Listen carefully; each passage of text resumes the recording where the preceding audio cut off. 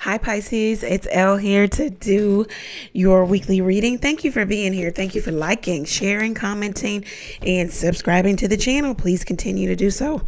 All links are below if you need to get in contact with me. Let's get into it. Thank you, God, for blessing Pisces with a clear, concise message from you. All right, let's see what's going on. All right, what's happening for my Pisceans? All right, let's see. Okay, eight and one. So you could be having some conversation with maybe a fire sign, you know, declaring how you feel. They're talking about how they feel. Magician. Uh, you could even be manifesting, trying to, you know, express how you feel. Somebody could even be trying to get you to come back or get you to stay or get you to resolve. Yeah, someone could be talking to you about what they're going to do, what they intend to do. They don't want you to leave. Um, let's see what else is going on here. Yeah, they want uh, the relationship they want you to come back or to stay or to take the relationship to the next level. Or they want to marry you or they want to move in together or they want to stay together. They want to get through this. What else is going on here? What else is going on? Two of Cups. Yeah, somebody definitely wants reconciliation. If the ties are severed, let's heal this. Let's come back together. Somebody is definitely now seeking a one on one relationship. They want you back. Let's see what else. The Three of Swords, yeah.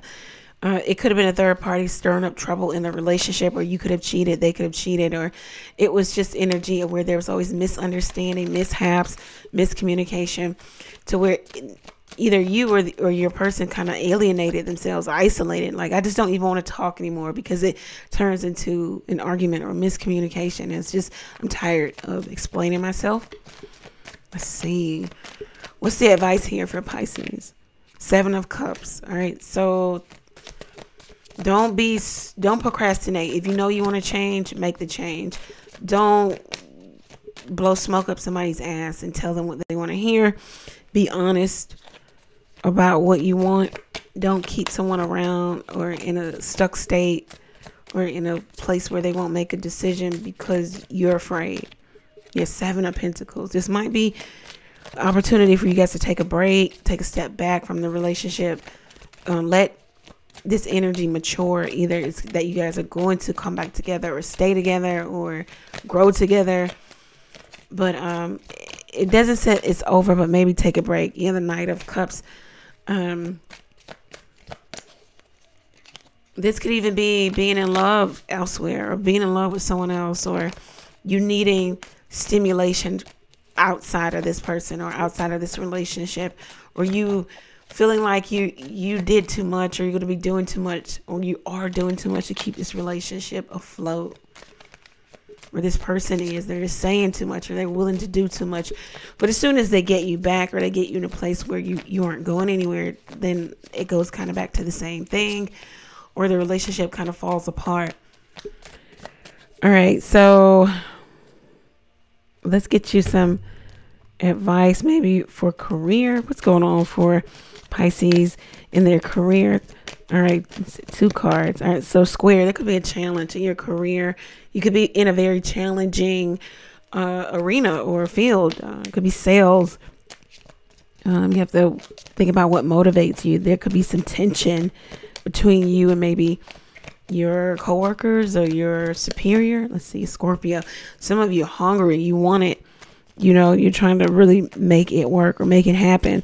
Um, you are resourceful. Um, some of you could do sex work, or there could be a problem with you doing it. I heard you don't have anywhere to do it. You don't have a home or a dwelling to do it in. Um, or you have to travel. There could be some compulsive energy. Um, you're trying to keep something a secret. Uh, what else is going on? Saturn. Yeah, you're trying to grow up wisdom. Use some wisdom, discipline, structure. Be responsible.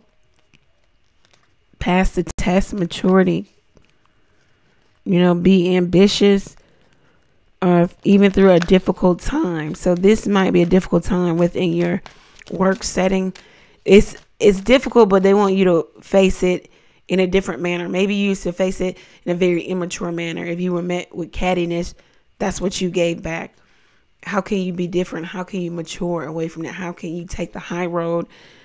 Um, if money gets low and maybe you go to, you know, um, using your body to get money. Maybe they're thinking, you know, the universe is trying to get you to use wisdom, use your mind. How can you get yourself out of uh, this financial bind? Or how else can you make money outside of using something so carnal, something so base, something, uh, your body? You know, you're so much more.